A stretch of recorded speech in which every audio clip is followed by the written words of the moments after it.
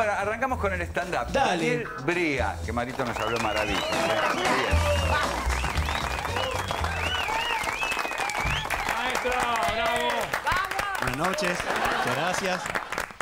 O sea que mi viejo se fue de casa cuando yo era muy joven, ¿no? Y se fue como dejando la educación en manos de mi madre. Ah. Y todas esas cosas que, que tiene que recaer ¿viste, en un padre, como, no sé, enseñarte a afeitarte o hacerte el nudo de la corbata, o cómo llevar a una mina a la cama, Ah. regachó mi madre. Entonces, no, yo a los 14, yo no me afeitaba, yo me depilaba el bozo. Eh, el nudo de mi corbata era de punto cruz. Pero viste, ahí sí, ahí sí. Por suerte tuve, tuve a mi vieja, ¿no? Entendedora de la psiquis femenina, ¿no? Que entendía muy bien a las mujeres, me explicó cómo, cómo hay que tratarlas, me explicó cómo abrirles la puerta del auto, cómo escucharlas. Claro. Debuté a los 25, pagando una chica. ¿No? Y qué sé yo, otra cosa que no me enseñó mi viejo y no me enseñó nadie, eh, no sé silbar. Y, viste, pero parece, parece como, la gente no te entiende, parece una cosa tan nimia, tan simple.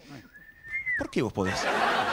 Y, es- y yo sé, y me, y me mata, o sea, porque me, me llena de envidia. Porque no sé, ponele, no sé, te gusta tocar la guitarra, la tenés envidia a Clapton. Claro. Si te gusta cantar, la tenés envidia a Adele. Yo le tengo envidia a una pava.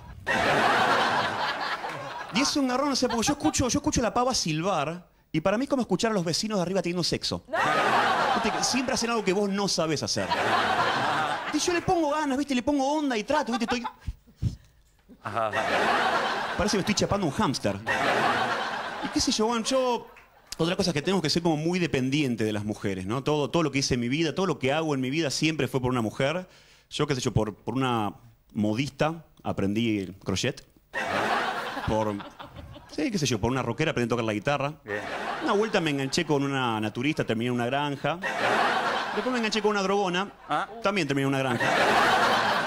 Otro estilo, otro estilo. Había cabritas, todo, pero como... Claro. Y qué sé yo, hay cosas que no entiendo, ¿no? Porque ¿qué, hacemos, no? Lo- Los hombres cuando queremos conquistar a una mujer, ¿no? ¿Qué es lo que hacemos siempre? Ponele en, en- en los boliches. En los boliches es el típico, ¿viste? Está el chabón, ¿viste? Ahí está bailando, ve venir a la mina y se le para enfrente. Se le para enfrente, ¿viste? Y no, y no la deja pasar. No la deja pasar. Hasta que no le dé un beso, no la deja pasar. Dame un beso. Dame un beso. Dame un beso. Sos un piquetero del beso. O sea que para pedir un pete se pone a quemar cubetas en la calle. Estamos todos locos. Igual que sé yo, no, no siempre me mata mal, yo de vez en cuando consigo, ¿no? Consigo capaz que sexo oral. Y me toca, me toca minas raras, ¿no? Pues me toca, me toca la tántrica. ¿No? Esa técnica milenaria hindú para durar mucho en el sexo, que hacen cosas raras. Ah. ¿Viste? Porque la tántrica es rara porque se te sube, ¿viste? Encima te empieza a besar la orejita, ¿viste? Te, te va dando besitos en el cuello, te va besando el pecho, ¿viste? Te, te besa la pancita, te besa los muslos. Epa, carita, ¿solteaste algo? No era gran cosa, pero estaba de camino.